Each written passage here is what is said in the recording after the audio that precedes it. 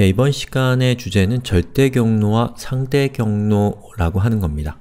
이 절대 경로와 상대 경로가 지금 이 시점에서 필요한 이유를 먼저 설명을 드릴게요.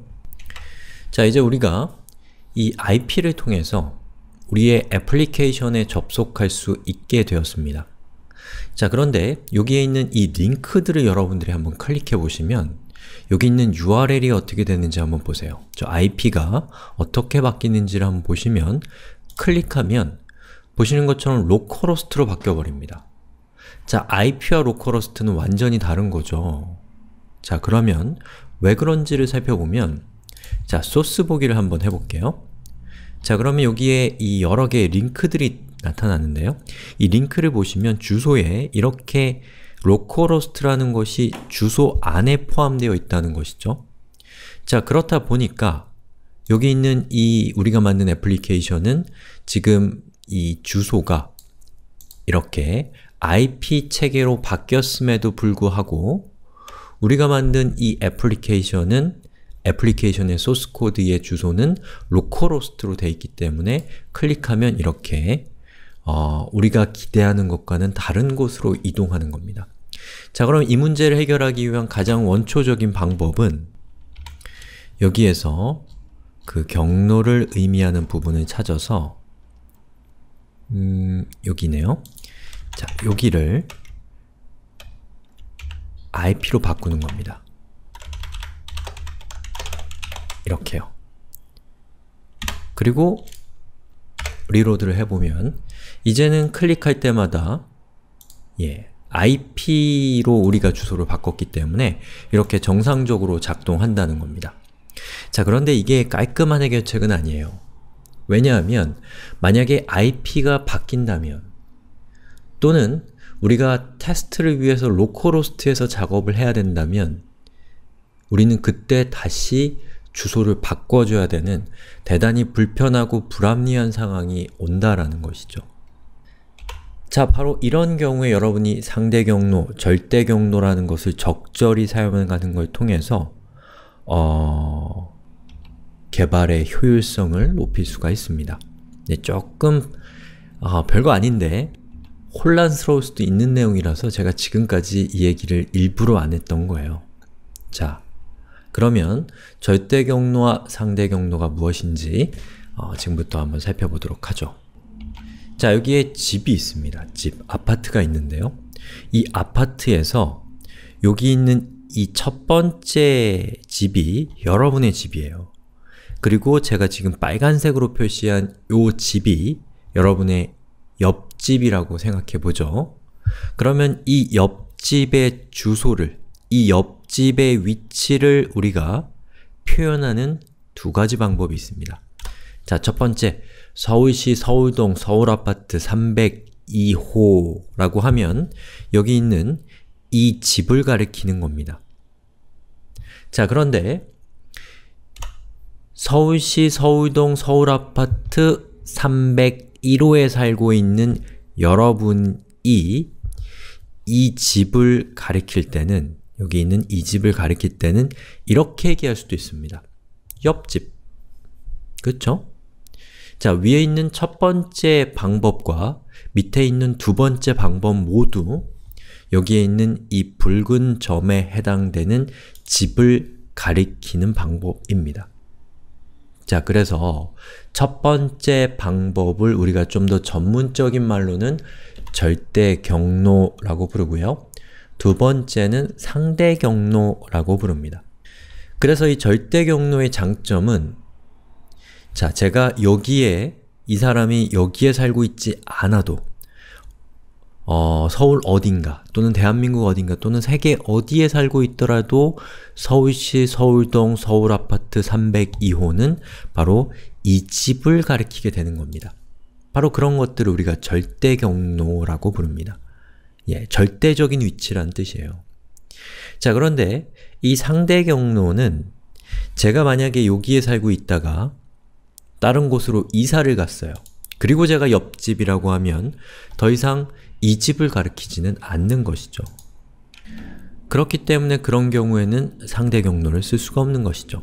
하지만 제가 옆집과 친하게 지내야 됩니다 라고 하는 이런 일반적인 얘기를 하고 싶다. 그렇다면 이런 경우에는 상대 경로를 쓰는 게 좋겠죠. 자기가 어디에 살고 있건 항상 옆집을 가리키고 싶을 때는 우리는 상대 경로를 쓰는 겁니다. 자, 그래서 제가 이걸 말로 풀어놔서 여러분들이 머리가 복잡해지는데 사실 절대 경로와 상대 경로는 상황에 따라서 우리는 어떤 것이 더 적합한지를 이미 잘 알고 있어요. 나의 위치와 무관하게 어떤 위치를 가리키고 싶을 때 우린 절대 경로를 쓰고 나의 위치에 따라서 달라지는 어떤 경로를 표현할 때 우리는 상대 경로를 쓰는 것이죠. 자, 이 웹도 마찬가지입니다. 자, 한번 예제를 한번 보시죠. 자, 여러분이 작성한 웹페이지가 localhost slash path slash 1.html 이라고 쳐보죠. 만들어 볼까요? 자, 여기서 오른쪽 클릭, New Folder, path라는 폴더를 만들었고요. 자, 여기서 제가 1.html이란 파일을 만들었습니다. 그리고 HTML 코드니까 HTML 입력하고 탭 그리고 body 탭 자, 이렇게 해서 여기서 출발해보죠. 자, 이 상태에서 여기 보시는 것처럼 제가 어떤 링크를 클릭했을 때 http localhost slash index.php로 접속하게 하고 싶다면 우선 이렇게 하면 되겠죠? 자, 일단 가장 쉬운 방법은 http localhost index.php로 접속할 때 자, ahref 자, 이렇게 하는 거죠. 음.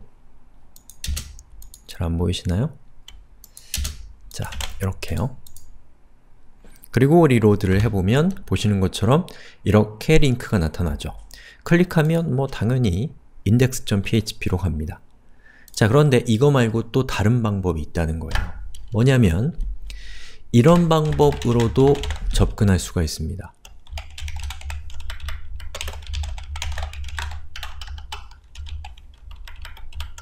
네. 자 그러면 href 이렇게 그리고 reload 그러면 바로 여기 있는 이 링크가 링크를 클릭하면 보시는 것처럼 똑같이 localhost slash index.php로 갈 수 있었어요. 자, 왜 그러냐면 이 경로에서 경로에서 이렇게 슬래시만 붙어 있다면 이 슬래시는 이 경로상에서 이 경로상에서 가장 최상위 디렉토리를 의미하는 것이에요. 자 그러면 여기 있는 1.html이라는 이 웹페이지가 위치하고 있는 이 경로에서 최상위 디렉토리는 바로 이 앞에 있는 이런 것들이 다 없어진 바로 이것을 의미하는 것이죠. 거기에 index.php를 한 것과 같은 효과가 난다는 것이죠. 즉, 슬래시가 혼자 단독으로 오면 최상위 디렉토리를 의미한다 라는 약속이 되어 있습니다. 자 그런데 이렇게 옆으로 쭉 나열되니까 좀 보기 싫잖아요? 그래서 우리 ul 태그로 감싸주죠. 자 여러분들 보기 편하게 레이아웃을 좀 바꿨습니다. 그리고 ul 태그로 감쌉니다. 그리고 각각은 li로 감싸줘서 좀 더 정돈된 모습으로 화면에 출력되게 하려는 거예요. 자, 이건 뭐 그냥 악세사리입니다. 음, 이렇게 하는 게 똑같다는 거죠. 자, 그래서 위에 있는 두 가지는 이런 것 모두가 절대 경로라고 해요. 자, 그 다음에 li 그리고 이번에는 자, 여기에 현재 제가 위치하고 있는 디렉토리 1.html입니다. 이 디렉토리의 부모 디렉토리 밑에 있는 index.php에 접근하려고 하는 거니까 그때 현재 이 문서가 위치하고 있는 디렉토리의 부모 디렉토리는 점점이라는 약속이 되어 있습니다. 그리고 거기에 있는 index.php에 접속하겠다라는 뜻이에요. 이렇게 되면 자, 그리고 한번 reload를 해보면 보시는 것처럼 이렇게 나오죠. 저걸 클릭하면 똑같이 index.php로 갑니다. 즉, 현재 위치하고 있는 디렉토리인 슬래시 path의 부모 디렉토리니까 슬래시 path가 없어진 이곳을 가리키게 된다라는 것이죠. 자, 이 상태에서 우리가 이 localhost를 어, 이, 이 점, 이렇게 IP로 바꾸고 그리고 index 어, path 슬래시 1.html로 주소를 바꾼 후에 여기 있는 링크를 클릭하면 어떻게 될까요? 자, localhost 슬래시 index.php를 클릭하면 이 주소가 localhost로 바뀌어버립니다. 우리가 원하는 게 아닙니다. 자, 그런데 이렇게, 이렇게 두 가지의 방식 있죠? 이 두 가지의 방식을 사용을 해보면 보시는 것처럼 클릭했을 때 앞에 있는 IP가 바뀌지 않습니다. 그리고 이 밑에 있는 두 번째 방법 역시도 IP가 바뀌지 않아요. 즉, 여러분이 보시는 것처럼 이렇게 어떤 사이트의 주소를 입력하게 되면 어떤 단점이 생기냐면 저 주소가 바뀌었을 때에도 주소를 유지하기 때문에 원하지 않는 결과가 나올 수 있다는 겁니다. 자 그럼 우리 얘기 나온 김에 이 패스 밑에다가 새로운 파일 하나 만들게요. 어, same.html 이라는 파일을 만들었습니다. 그리고 이 1.html에서 same.html로 가는 링크를 만드는 몇 가지 방법들을 한번 살펴보겠습니다. 자, 우선 첫 번째는 자, li를 만들고요. a 그리고 탭을 누르, 누른 다음에 자, 가장 쉬운 방법은 자, 일단 로컬호스트로 다시 돌아왔어요. 자, 여기에 이렇게 주소 전체를 적어주는 거죠. 그리고 same.html 이라고 하고 reload 음, 문자가 문자를 이렇게 추가해야겠죠. 자, 그리고 reload 그러면 이렇게 나오잖아요. 그리고 클릭하면 same.html로 갑니다. 안타깝게 same.html은 아무것도 없었네요. 자, 그래서 same 이라고 내용을 놨습니다. 뒤로 그리고 1.html을 다시 열고요. 그 다음에 이번에는 똑같은 방법으로 이렇게도 쓸 수 있어요. 현재 디렉토리란 뜻은 점 하나를 씁니다. 현재 디렉토리의 부모 디렉토리란 뜻은 점을 두 개를 써요. 자, 점을 하나 쓴다는 것은 현재, 점이 두 개면 부모 라는 뜻이에요. 그리고 점이 아예 없으면 루트라는 뜻입니다. 최상위 디렉토리라는 뜻이에요. 자, 이 상태에서 제가 same.html 이라고 해도 똑같이 접근이 가능하고 그리고 여기서 제가 아예 앞에 있는 기호를 없애버려도 저것은 현재 디렉토리를 의미하는 거기 때문에 똑같이 same.html에 접근할 수가 있게 됩니다. 자, 그럼 이번에는 path 밑에 sub라는 디렉토리를 만들고 거기에 sub.html이라는 파일을 만들었어요. 그리고 1.html에서 sub 디렉토리 밑에 있는 sub.html로 이동하는 방법을 우리 한번 링크로 만들어 보죠. 자, ul, li 탭 누르고 a 누르고 탭 자, 그 다음에 우리가 서브로 접근하는 좋은 방법은 쉬운 방법은 절대 경로를 이용하는 겁니다. 자, sub. sub.html 이라고 해서 여기 있는 이 주소로 접속을 하면 클릭하면 그리로 이동을 합니다. sub.html도 이렇게 sub라고 내용을 적어 놓겠습니다.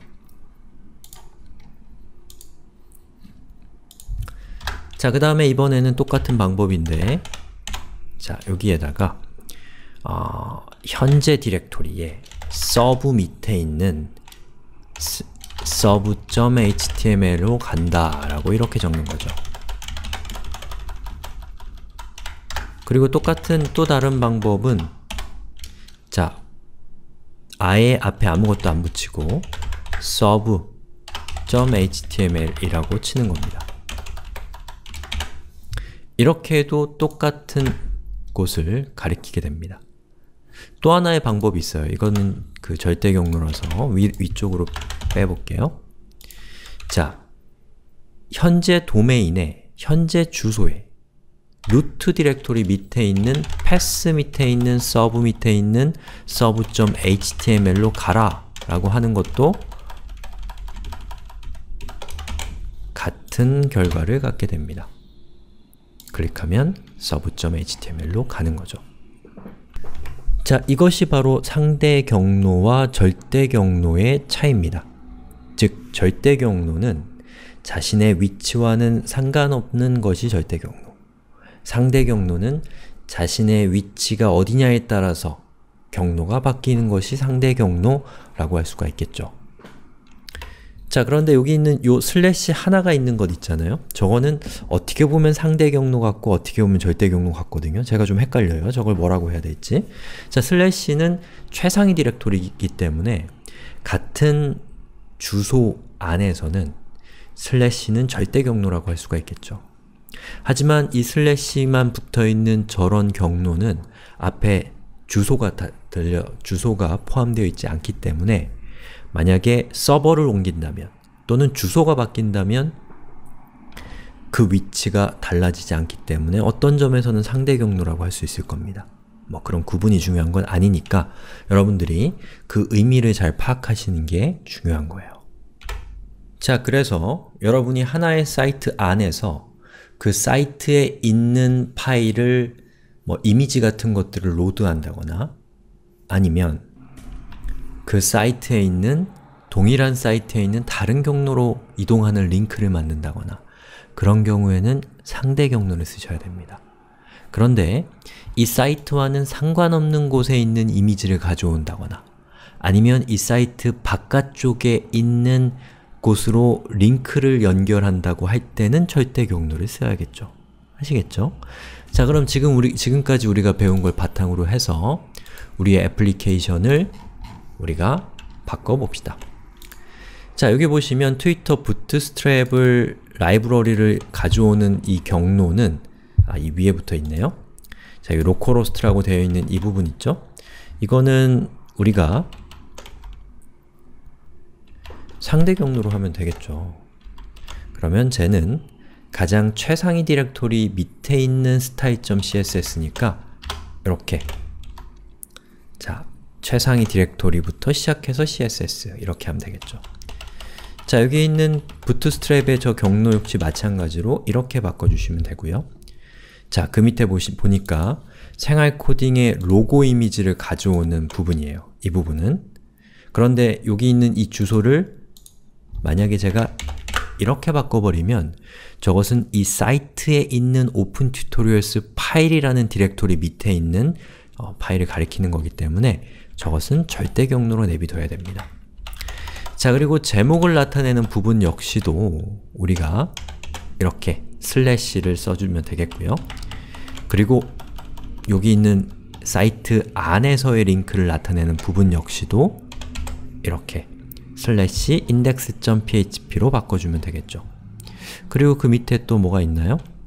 자, 여기 보니까 어, jQuery라고 하는 외부 라이브러리를 가져오는 코드인데 역시 이거는 우리 사이트 바깥쪽에 있는 다른 사이트에 있는 걸 가져오는 거기 때문에 절대 경로를 써야 되고 그리고 이 밑에 있는 이거는 우리 사이트 안에 있는 파일을 읽어오는 거니까 이렇게 상대 경로를 써줘야겠네 됐죠? 그리고 한번 다시 접속해 봅시다. 자, localhost의 index.php로 접속했을 때 여기 있는 링크를 클릭하면 보시는 것처럼 예, 문제없이 잘 접근하고 있죠. 그리고 저기 있는 저 주소를 이렇게 IP로 바꿨을 때도 자, 여기 있는 걸 클릭하면 예, 우리가 원하던 바대로 그 IP 안에서 이렇게 내비게이션이 되는 것을 볼 수가 있습니다. 자, 그리고 또 한 가지만 제가 더 말씀드리고 이번 수업 끝낼 건데요. 자, 여러분이 이렇게 사이트에 접속하면 이렇게 생긴 화면이 뜰 거예요. 그 이유는 뭐냐면 여러분이 저 주소 뒤에다가 이렇게 주소를 적지 않으면 주소를 적지 않고 접속을 하면 그것은 어떤 것과 같은 뜻이냐면 이렇게 뒤에다가 슬래시 index.html을 입력한 것과 같은 의미가 됩니다. 즉, 여기 있는 index.html이란 파일은 홈페이지의 파일이에요.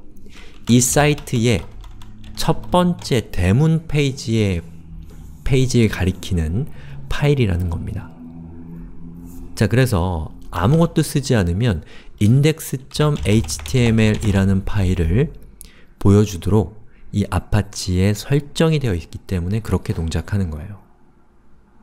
자, 그런데 우리의 지금 어, 대문 페이지는 index.html이 아니고 index.php잖아요. 자, 그런 경우에 사용자가 저 주소로 접속했을 때 index.html이 아니고 index.php 파일을 열게 하고 싶다면 어떻게 하면 되냐면 지금으로서 우리가 하기에 가장 좋은 방법은 바로 여기에 있는 index.html 파일을 삭제하는 겁니다. 자, 그리고 제가 접속을 다시 해보면 암시적으로 index.html 파일이 없기 때문에 웹서버는 index.html 파일 다음에 찾는 파일이 index.php 파일인 거예요. 그래서 이렇게 화면에 표시되는 겁니다.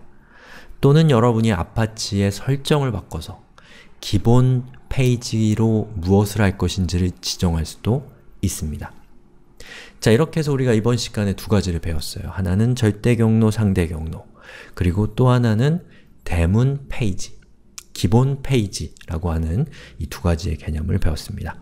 자, 그럼 우리 다음 시간에 다시 인터넷으로 연결하는 것과 관련된 이야기를 어, 다시 진행하도록 하죠.